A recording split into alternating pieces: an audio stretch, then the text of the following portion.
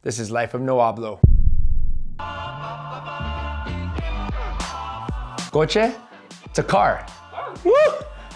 We're off to a good start. Do you know what a ranfla is? A ranfla is like the, the ghetto version of, of, a, of a car, a ride. Coche. Woo! Saco?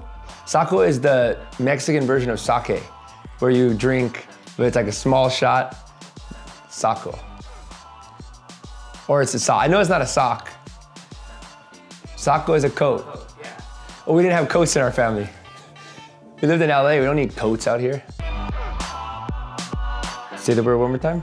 Autopista. Alcopista. Auto. I know a pisto is a beer. Altopista, that, Not, not alto. Auto. yeah, you're gonna have to spell this for me because this is really getting complicated now. Oh, that's like when a car gets imported into Mexico from Ger- Germany, an autopista. So a pista is probably a car, and the auto is imported cars from Germany into Mexico.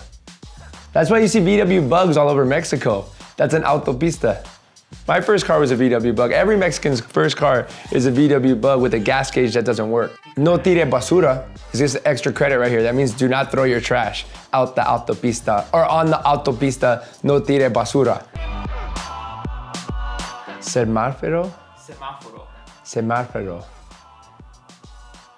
That is, oh, I've heard this word before. Semáforo. That means like, it's like a, some type of animal. I know that it says semáforo. It's not, it's definitely like a Mexican alligator of some sort. I'm not sure if that's right. Am I close? Why all these road questions and street questions. All right, well,